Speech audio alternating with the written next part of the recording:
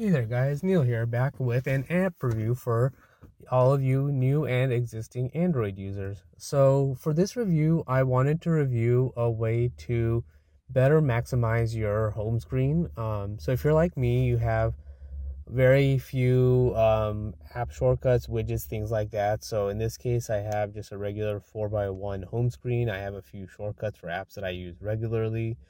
Um, I usually just have a 4x1 weather widget, so for the sake of example, I'll stick that here.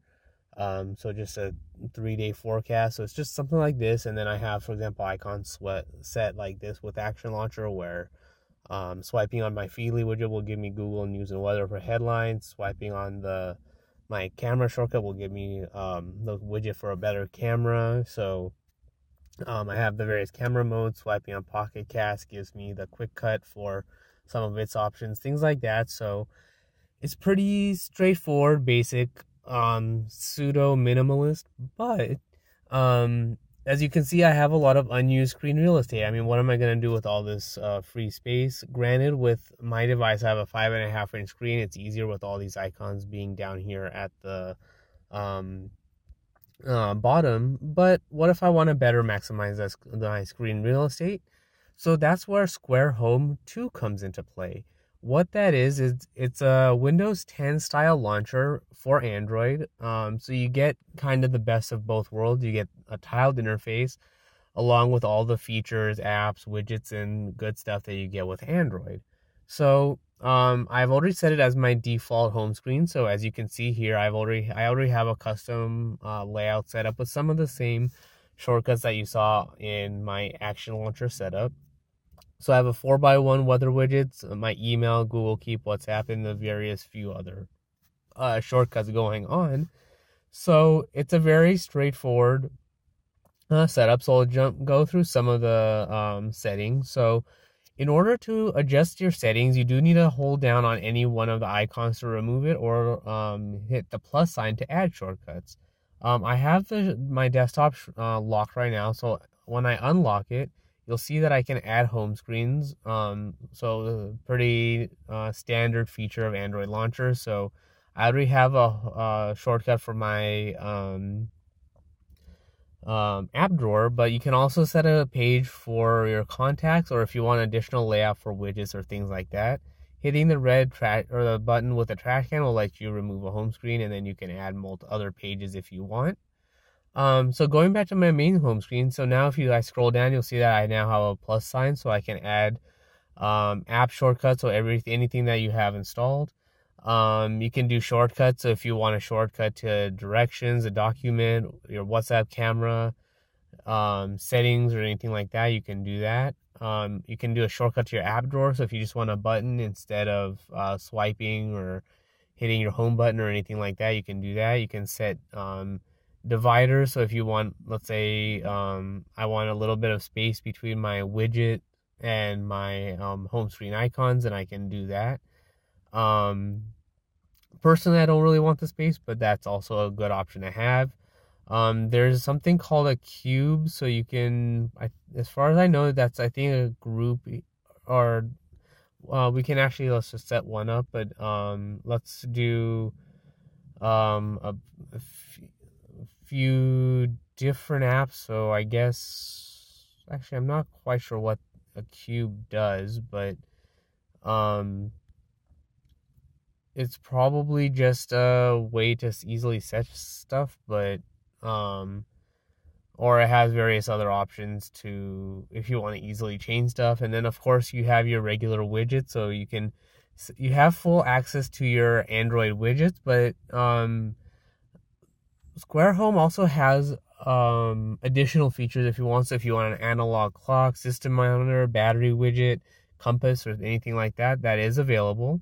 So I will say that um, SquareHome 2 comes in a free version, which gives you most features, but there are features that you can that are uh, available for free for two weeks. Um, after those two weeks, you can buy the Pro Key for $3.99, or it's currently at $3.99 in Google Play, which will unlock the rest of the features. So some of those, so you saw some of those um, additional features via the widget. So what you saw here but then going into the your menu settings so when you pinch in you can you'll get your menu settings so if you hit this blue button and you go to home options you can um, adjust various other settings like behavior so if you want tablet mode if you want your page uh, font to look a little bit different um, if you want infinite scroll or 3d effects things like that are um, part of the pro version you can uh, change your tile color if you want use um, adjust your wallpaper um, change your app launching animation. So instead of uh, flying in, if you wanted to fill, sync, rise up, all of that. So you saw that already. Or actually, I don't think I showed that, but let's say I open up Pocket Cast, you see that um, fly in effect there. But going in, back into um, the settings, and let's say I wanted to, instead of flying in, I wanted to, um, uh, let's say all rise up um, I'll go back and you see that kind of a fade, kind of fade rising effect there. So, um, pretty nifty animations. They're all pretty smooth. Um, of course, that'll depend on you the uh, performance of your device, but um, overall, it seems like it's it has a pretty uh, low system resource usage, so definitely worth it. Um, you can set notifications on tile, so if you use, have shortcuts like Gmail, WhatsApp, Instagram, things like that, then you'll get a nice little number showing how many notifications you have. So you will have to give SquareHome notification access. So for me, that's not a huge deal. I did that so I can get that. And then you can also set which apps are allowed to show notifications. So if you want to disable certain apps, you can do that. Um, you can also adjust your tile style. So if you want to adjust the size, um, the column style, the icon size, um, whether you have the labels or not, text size for your um, shortcuts and things like that. That's also available. Um, you can also set shadows if you want. A rounded effect as part of the pro version. Um, you can adjust your uh, foreground effect, so um, kind of a little bit of tint if you want that. Um, you can also change the background effect for the tile. So if you want, so for example, I have it set to blurred, but if you want a solid um, icon, you can do that so you can see that change right there. Um, or if you want um, no background, then you can set that as well. Um, I kind of like I like that blurred effect because I get a little bit of the my wallpaper, and then um, it keeps the tile in focus. And then if you want to change, uh, or there are certain colors that are available for default. So if you do have the um, no background effect set and you want different tile colors, you can set that on a per um, app basis. So when you long press on an app icon and you click on the little settings button and you click style, you can adjust the various style colors you have set there. So for example, if you want green for Feedly and WhatsApp, blue for Facebook, red for Google Plus, Gmail, and Pocket Cast, then you can do that. Um, while I'm at it, on the tiles as, as well, when you long press and click on the settings, you can also set your long click action. So if you want to um, for example, you have your camera shortcut, but if you want, or let's say in this case, I didn't, I don't have this widget right here that you see for what that says as HDR and all that for my um, widget for a better camera. But let's say instead of you having that widget, I wanted to long press on the gallery to launch my camera, then I can set it to application. Let's say I wanted to launch, I want when I long press on my gallery to launch my uh, stock camera app. Um, when you turn off edit mode, like that, like the pop up said, and I lock my screen. So now when I long press, it launches my camera. So that way, let's say in this case, um, I prefer the video camera mode for the stock camera app on my device. So um, I'll still want that shortcut, but I don't want to use an extra tile. I can set it just like I did there, and I now have that option set. Um, going back into menus though, um, that was I think the bulk of the tile size and style. So going back into um, icon style, you can also set various icon packs. So in this case, I have a Vokel icon pack, but I also have these various other ones. So a couple of them are built in with my device. So Dives icon pack and Rifon is built in. But if I want to use, let's say, the Pixel icon pack, I can use that as well. And then you can de- um, download other ones as well if you so choose. So you have that customizable feature. So if you want an outline or whatever else looks good to you, then that is also available. Um, I have uniform icon size, so everything, as far as I could tell, is the same or looks to be the same size. You can set background and foreground settings, so um, you have that available. As far as app drawer settings, um, you can set between uh, regular grid and list type. So um, turning it off, I'll go over and so um, the grid type is just your standard icon um, grids.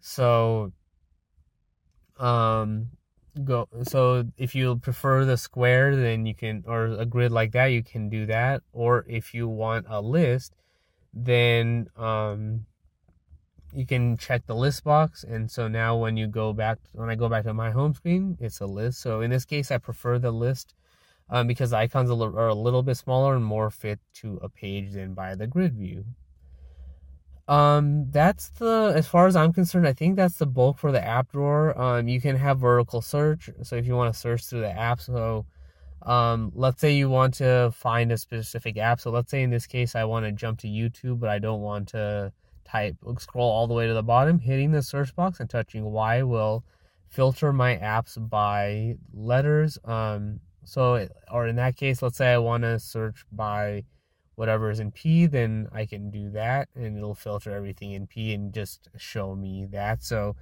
um, that's a pretty nifty effect. It's not for me that it does, or the um, app drawer does uh, scroll pretty fast, so I can get to the anywhere I want to easily.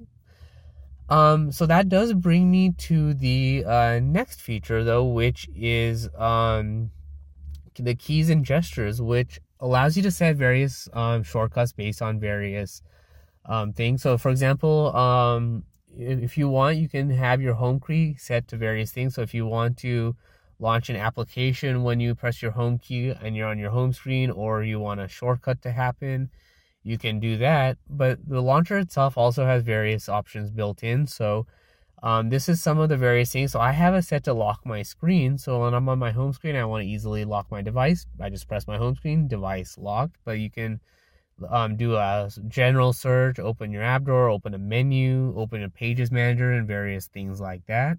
And the same thing with your back and menu keys if you have those. So I have do have back. So if I want to do have various other things, um, I have nothing set for those because I don't really need it. But the feature I kind of am, am, impressed with is the swipe down setting. So you have two here. Um, the first is swiping down on the left half of the screen, which is set to expand notifications panel, which was in the launcher actions. Um, but you can swipe down on the right half of the screen, so it automatically has that um, split, so it knows or it detects where you're swiping down. So I have mine set to do a search when I swipe down on the right half of the screen. So I'll go back. And so I'm swiping down on the left um, half of the screen and I have my notifications. Swiping down on the right side of my screen will give me um, the search. So um, I can do images, maps, uh, in app search, videos. So let's say I want to do an in app search for um, I don't know, let's say I want to do a an in-app search for Rogue uh, One. Um, so I have um, that, and I, as you can see now, I have Facebook, IMDb, Instagram, Google Play, YouTube, all of that. Um, going back to all, so I have that's more of a Google feature, but um, basically for me, having that swipe down effect um, allows me to um, do a quick search. So even if I wanted to, let's say I wanted to not go to my home screen and I wanted to do a search for YouTube, then I can do swipe down, do you type in YouTube, and I can now launch my app from here. Um, so that's basically the bulk of the app itself. Um, so if you do um, decide to set it up, you can also rearrange things. So holding down or assuming my I have my screen unlocked, um, you can hold down on the icon and you can move it over. So if I want to move it, if I want an order like that, then I can do that or move whatever um, order you want to have um, your setup in. So this kind of works for me. Um, since it covers the bulk of the um, apps I have a shortcut for, um, I'm happy, and then I can easily swipe um, left and uh, right to uh, get to my app, all of my apps, and then whatever I have favorited, and then I have my camera shortcuts I need. So um, the only thing that I would really be missing here is I did have an action launcher, a swipe to um, have my quick access to my steps. So um, I could even set, let's say, uh, um, uh, long, or I can have it set to press my back um, button to launch Google Fit or something. But um, it's not, I don't really need to check that out that often, so it's not something that I need regularly. But um, overall, I kind of like what SquareHome offers. I mean, compared to um, my Action Launcher setup, which is a good launcher, does have that whole swipe capability on the icon, so I'm using minimal screen real estate. Um, but from here, it's also nice that um, I'm maximizing as much, as much screen real estate as I can. I have that uh, blurred uh, glass effect for my icon, so I have my wallpaper that I can look at, and um, I get my notification access as well. So when I get new emails, I can. Um, while, granted, while I'm not having my um, status bar hidden, um, is actually nifty because let's say I get a WhatsApp message, then it'll also notify or the tile will um, animate to show me that um, who I got the message from, so I don't even need to swipe down on my home screen. Um, it animates there. I don't think my Gmail widget did that yet, but um, or does that at all. But it's nice that uh, Gmail does that. Instagram at the moment seems to work with that when I have likes and notifications there. Same thing with Pocket Cast, where if I have been playing something, then it'll show that um, that it has its own notifications. So uh, definitely uh, good launcher. Definitely worth checking out. The it has plenty of free features, so it's definitely something worth checking out. And if you do some, want some of its more um, or some of its other features that are in the pro version, then um, the three ninety nine price tag is um, definitely worth it. So um, that's all there really is for that. So if you have any questions, comments, concerns, or anything like that, you can email me at headphonesneil at yahoo.com. You can find me on Twitter at pateln01. You can find links um, and all of that good stuff on the website at pateln01.com. Um, you can find this review and all other reviews on YouTube at youtube.com slash pateln01. So if you want to learn a little bit more about Action Launcher 3 and some of its features that I like, some uh, some of its interactions and what you can do with Action Launcher, um, I have a bunch of reviews on the YouTube channel there as well. So just look those up. I have them listed as on, with Action Launcher and what features I'm reviewing and what it can do as well. So if you want some of those comparisons like the swipe gestures and quick bar and um, some of those things like that, then that's all there for you as well. Um, so that's all there is for this particular review. Thanks for watching and listening, and until next time.